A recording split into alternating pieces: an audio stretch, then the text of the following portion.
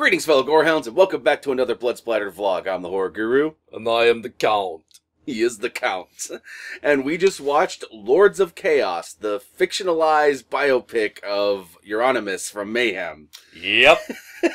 and and while it uh, li- like a good biopic that involves band, it, it centers on uh, Euronymous, but it uh, it really is about the whole band. It's about the whole Yeah. band. It's not even just the band; it's also the whole kind of scene. Yeah. Uh, um, it's it, but but the thing is, if when you talk about the Norwegian black metal scene, you can't talk about that scene without focusing on Mayhem at some point. Yeah. because Yeah, all the major events center around that band or connections to that band. Considering you're not Euronymous owned the label that a lot of those bands were on. You Yep. know? Um, and he was kind of like at the center of that scene, so it makes sense to make a movie centered around him. Now the movie opens up specifically with a title card that says. Based on the truth, the lies, and what really fucking happened. Happened. Yeah. So it tells you right away that look, not everything in this movie is 100% confirmed. We have to fictionalize some stuff, and some stuff is going to be our own interpretation. But at the end of the day, we're trying to get to the Werner Herzog truth. yeah, yeah, yeah. You know? And like, I, can this? Can you even say that this this a biopic has a spoiler section? I, I, well, I, I'm going to put a spoiler section here just in case some of you somehow have never heard of Mayhem and don't know what happened to that band. Yeah. Because uh, it's quite a story. Yeah, yeah, yeah. Oh, but don't worry, it's all right. Everyone lives. Something I will tell you though is you're like, what? Why are you talking about this movie on this channel? I mean, sometimes you do like action movies and things like that. I'm like, yeah. The reason why we're talking about this movie on this channel is not just because I love metal music. It's because Lords of Chaos is a biopic by way of a horror movie. Yeah. if Yeah. that gives you a little taste of what I mean by what happens to this band is quite the story. Yes. um, yeah, yeah. It's it's it it it it gets into that like you know natural born killers kind of territory. Oh, God, It's like oh my god. Well, that's another thing I really like about this movie is that it's not filmed like a traditional biopic. They do a lot of really interesting shit visually and in presentation. Yeah. Some of the stuff like reminded me of the kind of stuff that you'd see like Edgar, Edgar Wright do in some of his movies. Some of the more stylistic choices. yeah. Like there's a point in which a member leaves the band and he just pops out of existence Yeah. in like a really funny comical moment, and I'm like, that, that was pretty, that was pretty cool. clever. yeah. Well, I mean, like one of the things that they do in the movie that was really cool is every time they take a picture, they flash Oh, to yeah. the actual picture. they'll they'll flash to the actual famous picture of the band or the person from Yeah. the scene and actually show the picture. Um, and this includes pictures of inevitable uh newsreels and shit. um, yeah. um, and uh, God, I, I really like this movie. it was really good. I, yeah. I, I thought it was a even if you like even if you're like a super purist and you're gonna sit there and go like oh well that's not exactly how that happened you got to admit this is a really well done movie as a movie is. It is. you know this is actually a really well constructed horror movie you know you know like this is about this is basically about a, a character's own um what do you call it um Well, it's it's like Frankenstein. Yeah, you it kinda is a Frankenstein story. monster. Uh, like you know, in, in his own pursuit of fame and infamy, he creates a monster that is ultimately his undoing. That's, yeah, yeah, yeah. And that monster, for those of you paying attention, is obviously Varg Vikerson.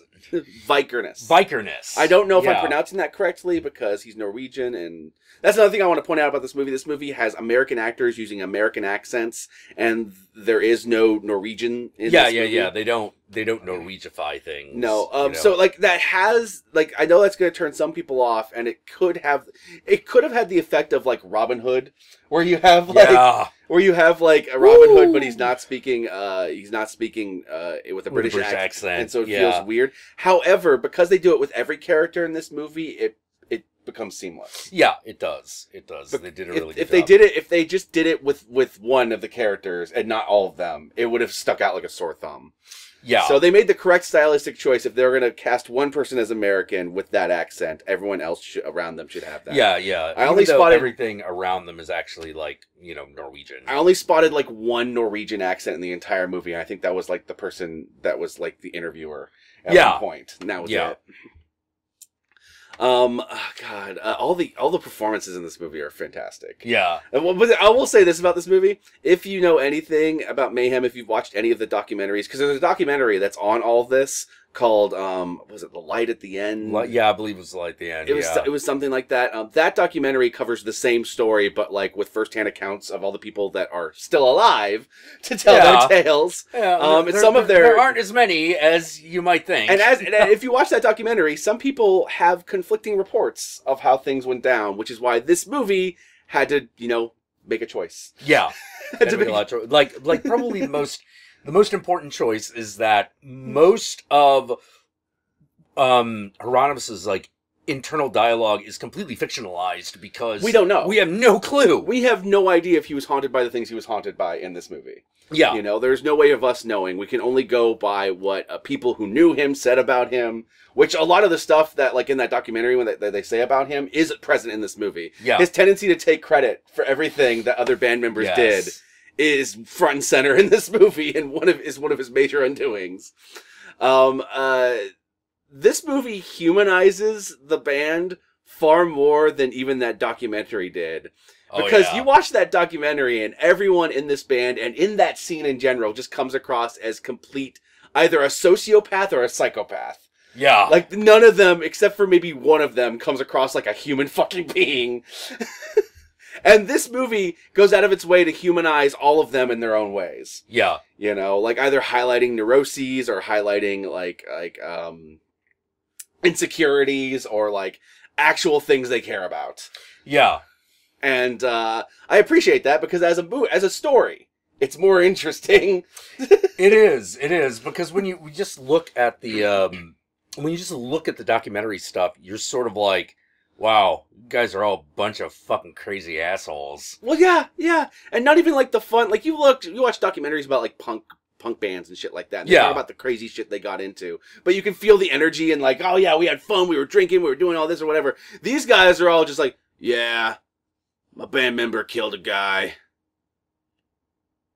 And you're just like, are you gonna? You gonna elaborate, dude? emote? Are you gonna do anything? You, you just seem very cash about this. You Yeah. know?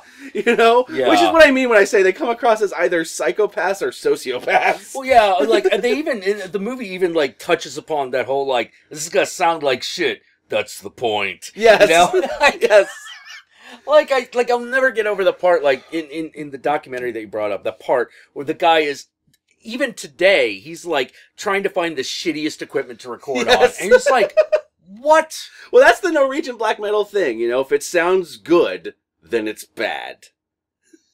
It's supposed to be unlistenable because you don't want the fame and infamy or whatever. But what I kind of highlighted, I, what I kind of like about this movie is that this movie does the thing that I've always felt about that, and that's that that was all bullshit. well it has to be bullshit That was all bullshit. Number one, and number two, um, that shit is why all the awful shit that happened in that scene happened yes because everyone started taking themselves way too seriously well yeah and having yeah. to one up each other, and everyone had to be the alpha dog.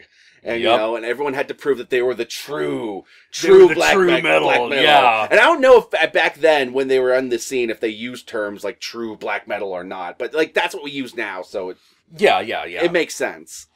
Um, and I, I, I, I, I kind of appreciate that this movie definitely takes the piss out of that. Oh, it does. It does. It's it's it's ultimately it, it it is a black comedy in the way that it is about a black. It's a black comedy about black metal. Yeah. You know? Yeah, and I, what I really appreciate this movie actually like like maybe I watched that documentary years ago when it first came out, and I'm just sitting there going like, "Wow, you're all awful fucking people. like you're all Yeah. terrible." yeah. just shit stains on the existence of human beings. You are just that's what you are.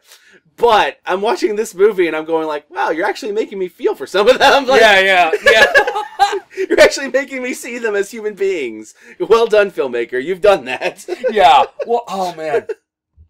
One of the things, one of the some of the details that I really, really, really liked about the film.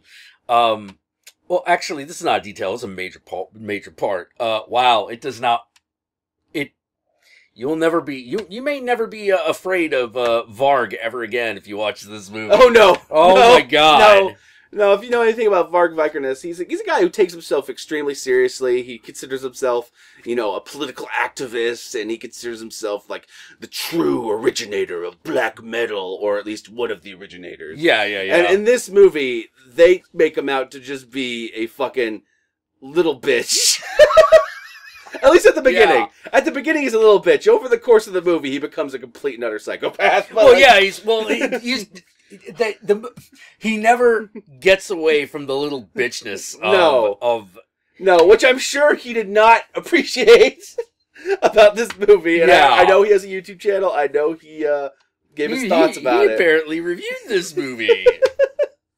Which, oh man, like I, I do not want to give him any clicks, but there's part of me that wants to watch that. There- just there to, is some morbid just to hear it because going I, on. I hate that guy. I Yeah. hate him so much. He's a fucking like Norwegian white nationalist piece of shit. Yeah. like, he's just Yeah. Oh my god. Yeah, I love that scene where he, he um is talking to the journalist, and the journalist is like, "Okay, you've got the sword. You worship Satan. You talk about Odin, and the, you are also Nazi. That's quite a broad. yeah. yeah, quite Th- a that's actually an axe to grind. I've always I've always had this axe to grind when it comes to the Norwegian black metal scene. Is that they couldn't like they, they never felt like they could decide if they were like pagans who worshipped the Norse gods Yeah. or if they were Satanists. Yeah, I, yeah, I know. I know. And I'm just like, I, I get, and, and the fact that they can't decide between those two things is what leads me to believe that this is just an image thing. Well, know, yeah. Like, you know? but but you had to be like so true, so it couldn't just be an image for you, like it was for Venom or Slayer or any other metal band. No, you had to be real about it. yeah. But it makes less sense. Like well, it makes it makes it makes less. It, the only God. thing I believe that they all truly believe is they all hated the church. Yes. That I think is uh that's the one thing that's not up for question. Yes. They they hated they hated the Christian church. Absolutely. You know. And they were all fucking bigots. Oh yes. Oh, Which uh, I'm not just saying that as just a commentary on the band uh, or, or the band or the scene. Um, it comes up in the movie. Oh, it comes oh, yeah, up in the it comes movie. up in the movie. You know, like how to put it. I thought it was hilarious to, to them. Like Swedish wasn't real. no, You know, no. those those those weren't good. Those people weren't good enough. They're Swedish. No, no, they're just they're, they're all about life, metal, happiness, and partying. And I'm just like, you mean like ninety percent of metal? Like Yeah, you mean like Like- 90% stuff that of- makes it rule. Ninety percent of metal rock music is is is either you are singing about evil or you're partying. Those are the those are two modes, you know. Like, Yeah, yeah, yeah. Are, are are you Guns and Roses or are you Slayer? You know. What even Slayer for that matter? well, they still party. You know, they still party. Yeah. they still party at their shows. Well, I mean, here's the thing: these guys party too.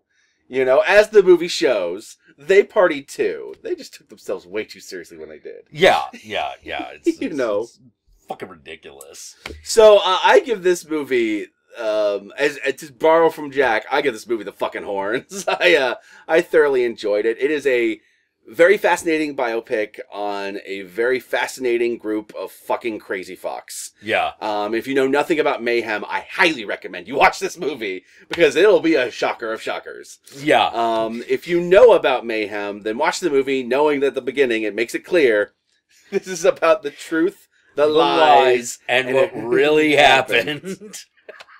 So the lies are included in this. Yeah, Yes. So, yeah, yeah. I oh my god.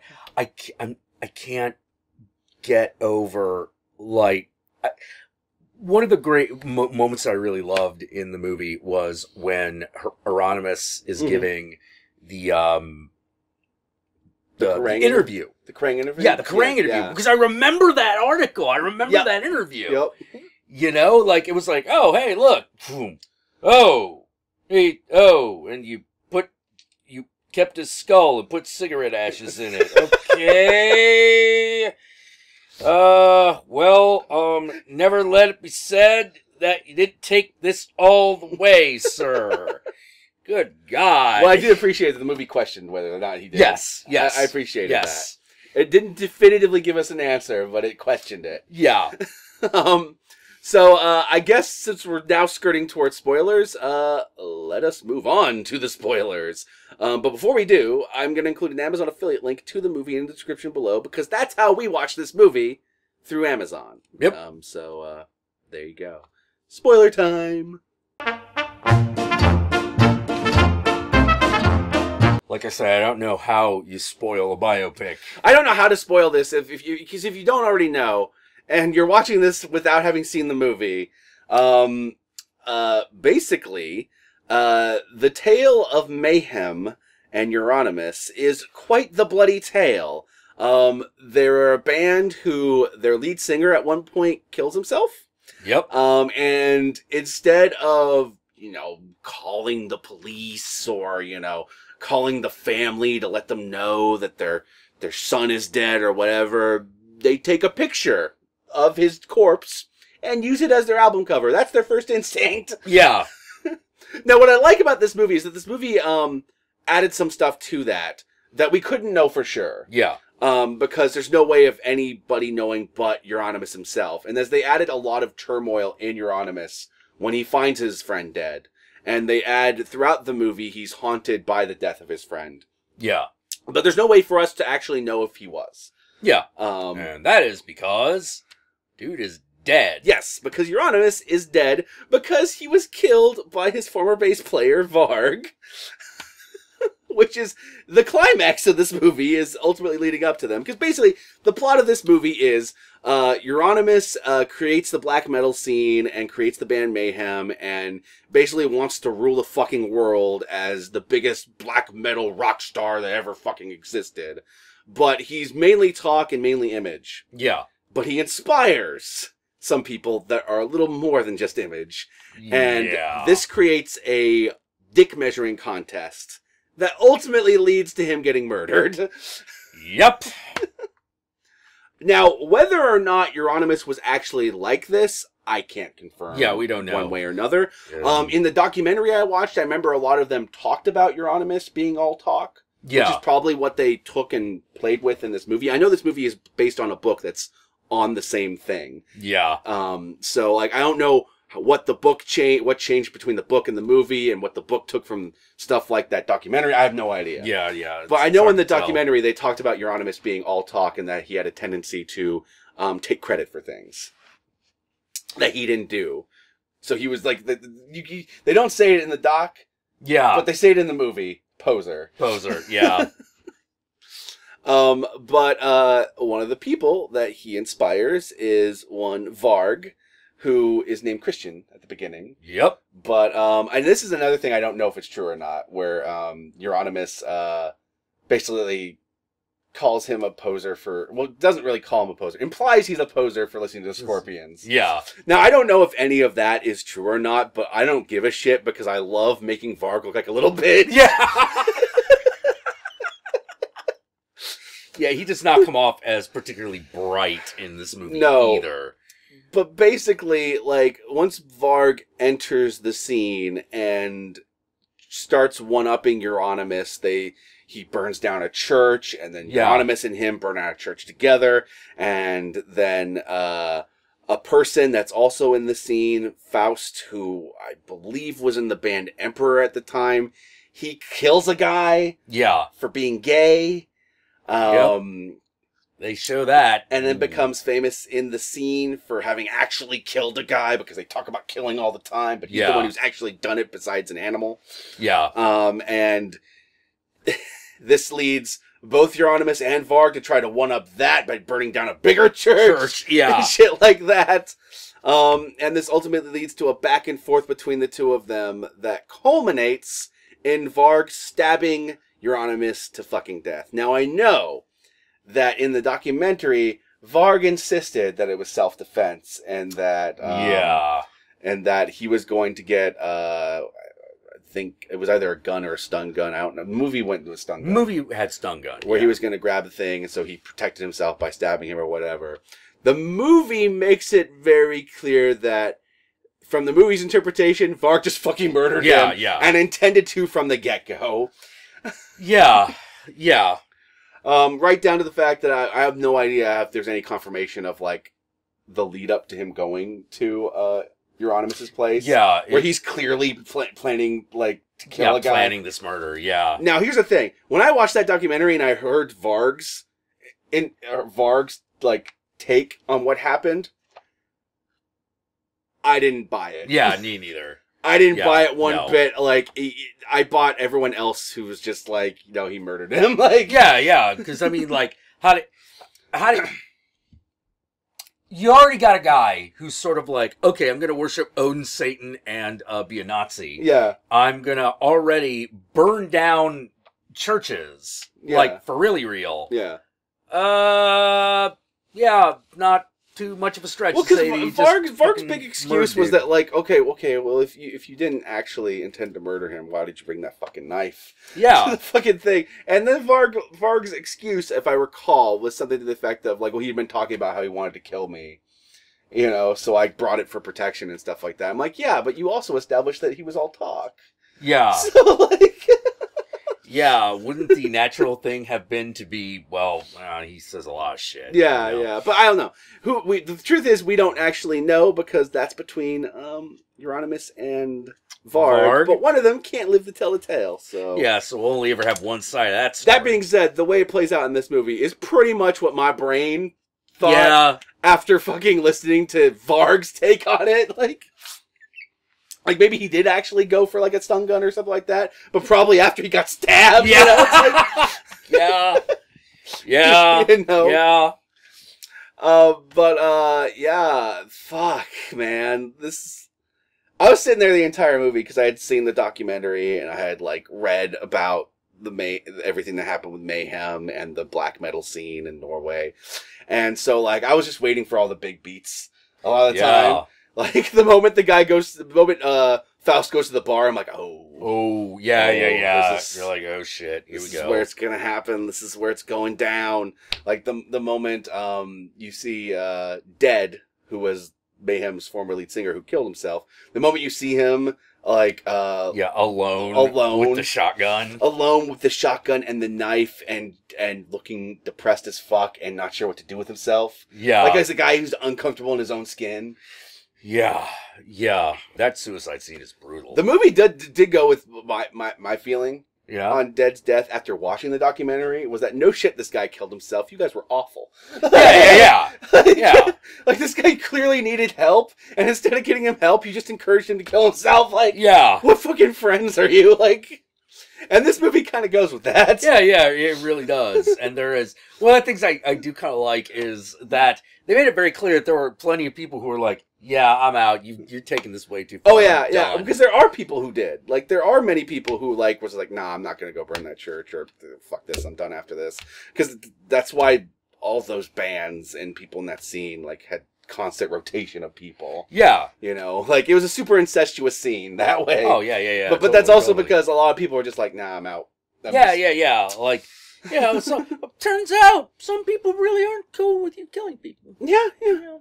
You know, I, I, I draw the line on the on the killing people. I might have been okay with the church burning because no one got hurt, but mm, Yeah, stabbing the guy to death. Yeah, not not not so great. I wasn't okay enough to be there though. Because. Yeah, um. Oh God! Like the scene when Varg is doing the interview with that reporter guy. holy crap! That's one of those things where I have no idea how that actual interview went down. But the way they played in the movie to make Varg look as pathetic as possible, I was relishing. Oh god, yeah. well, like you gotta like it's it was it was the big how I would have done it moment. Yeah, you know, like oh my god, like it's one of those things where you're like, well, I'm glad they caught you, but uh, did you not think that giving these people some details was There's a lot of things that arrested? there's a lot of things those guys did that was like so stupid. It was just like, you know, you probably could have got away with some of this shit had you not been fucking morons who were Yeah. attention seekers. yeah, yeah, You know. Also, had you not let your egos get in the way of each other, but then again, you wouldn't be doing any of this if you didn't let your egos get in the way of each other. yeah, yeah, yeah. It's a foregone conclusion there. You know? you know oh jeez i wow just wow uh rory uh culkin uh plays Euronymous He's he does a fantastic great job in this movie. I, I I loved him in this movie. He was just he makes you give a shit about this guy who I'm pretty sure was also Nazi leaning on things. yeah oh yeah Like even in the movie, they kind of hint at that with like one of one of his lines towards Yeah. uh, Varg. Um, but they still they still made you actually care about him, and I was impressed by that. Even when you're watching the movie and going like, "Wow, you're you're awful. yeah yeah mm, kind of a shit stain you know You're fucking awful." why do people follow psychopaths so I don't know. I don't know. I I don't know. know. Maybe it's because Even they, Varg, Varg, like when you listen to him, like on his channel or like interviews with him or whatever, he comes across like a really, he like he really wants to be Charles Manson. oh yeah, Like he yeah, really totally. wants to be Manson so badly, you know? yeah, yeah, but uh, uh, uh, sorry, man. Uh, Charlie was, I, he had something. As awful as he was, Yep. he had something. You know, ooh. The movie goes with the idea that Euronymous wanted, essentially wanted to be a rock star, but he wanted to be a rock star by selling not being a rock star. yeah, and and maybe that's the way he was. I have no idea, but I bought it because oh yeah, that's the that's the kind of ridiculousness I'm used to from like like true black metal heads. oh yeah, You know? yeah. Well, it's like the whole. I remember like the whole like you know like never sell out, man. You know thing, and and then I started asking myself a very simple question. It was like, well, not selling out is great, but um, how do you keep roof over your head? Yeah, yeah. Oh, that that reminds me. That's also something I love that the movie brought up because Oh yes, it's in the documentary, and I'm glad that the movie highlighted it, even if only briefly. And that is, these people all came from very well off families. Oh yeah, These weren't like people that were like living in the fucking gutter that had to grow up poor and were just had to fight the system because fuck the system it fucked us or whatever. These were people that had decided to become psychopaths because their mom loved them. yeah, like, like even fucking like like like what, what was it? Um, uh, they recorded the uh Varg's first album because his mom paid for it. Or like and like fucking um Euronymous was able to buy his his shop in the movie because or his uh his uh Record store. record store in the movie because his dad helped him yeah, pay for it, and you're just like, huh. I'm used to this kind of anger and hatred and rebellion coming from people with actual problems. And so Oh. far, the only one of you that I seem to think, well, maybe Varg, but the only one of you that I Well, Varg has problems. well, that's what I was gonna say. Like, uh, the only one of you I could seem to think that actually has any problems is dead, and it's mental issues. Yeah, Um, but maybe Varg in that regard too, 'Cause, ah, that guy's clearly not right in the head, even outside of the movie. oh, you're right. you know, oh jeez, oh, good movie though. It's a really good fucking Good movie. movie. It's a it, it, it, it's one of the most interesting musician biopics I've ever seen. On top of being, um, so far one of my favorite horror movies I've seen this year. Yeah, yeah, yeah. It's also it's a, it's a mean little flick. Oh god, it's It's brutal as fuck. flick. It's brutal as fuck. This movie does not skim on the fucking gore. And which is weird to say about a movie about true events. Yeah. but it's fucking gory. Um, you actually get to see dude blow his head off. You know, you actually get to see um every single stab that uh Yeah, Var I, gave Euronymous. I was kind of fucking. I was I was the kind of fucking impressed. oh man, the hardest thing to fucking watch is the gay dude Oh yeah, getting stabbed by Faust. yeah, that fucking scene was just like holy shit that you feel like you're that that felt like watching yeah. You feel like you're actually watching it. Yeah, yeah, like You know, because the, you know, there's no music. no You know, the camera angles aren't cute. It's No. very, it's very, you know, very matter of fact. well, the scene feels like what um that scene the way that scene plays out the way the character looks and um the way the character the, the way the gay guy dies um the way Faust looks I mean and the way gay, the gay guy dies that feels like what Rob Zombie was going for with his first Halloween movie Yeah, Yeah. that that scene in a nutshell was what he was going for. yeah, yeah, yeah. Where it's just like it's just cold, brutal murder. Mhm. You know, yeah, it, yeah. No, it's it's a great scene. It's really well done. You know, Oof. yeah. He's like, It takes a lot to disturb me, and that scene's not like the most gory thing, but the scene got me well, because it started to feel too real. Yeah, yeah, yeah. It does. It does feel real because it it lacks it lacks a, a lot of the drama, if you know what I mean. yeah, yeah. Well, like, even like Euronymous' death later is a little bit more theatrical than um, Yeah, than yeah, this than that death, one, you yeah. know? It's like Ooh. Christ. The Yeah. biggest victim of everything in the movie is him. Yeah. Because even Euronymous, like some of the shit that goes down, like he's partially Well, yeah, yeah, yeah. like- they they make it very clear. It's is this is kind of he's this was your monster that you you created this Frankenstein, and the Frankenstein turned and stabbed you. Like, it's, Yeah, yeah. you know, this was. You know, that's that's the movie's take. You know, now, whether or not so- that's reality, Who knows? I have no idea. Who knows? Um, the movie hits all the important beats from uh, every account I've seen. so- yeah, yeah, like all the important parts of the story, Mm-hmm. to all the important moments where the story is told, yeah. you know, to all the important photographs that were taken, yes, you know, including the uh, including the dead body, including all of the uh, promotional materials that were used once they were fingered, Yep. you know, um, No. really good, including some of those pictures that Varg had taken for the interview, which you're like, he's a he's a big brain. He's a big brain. I I love this say? movie. It's Once good. again, it gets two fucking horns for me. Where can they find you, Count Jackula? Oh, you can find me on Instagram, you can find me on Twitter, and you can find me on uh, YouTube right here. And I stream every Thursday at 6 p.m. Pacific Standard Time and every Sunday at 9 p.m. Pacific Standard Time. Y'all know me. I'm the Horror Guru. You can find me at the Horror Guru on Twitter, on Twitch, and um, you're already on my YouTube channel, so there you go. And don't forget to like, comment, subscribe, and ring that notification bell so you're notified of my videos immediately upon their upload. And as always, my fellow gorehounds, keep those horns fucking flying, and um, try not to commit any hate don't crimes. kill your yeah. Don't commit hate crimes, man. Like, try not to commit any hate crimes, okay? All right. Yeah,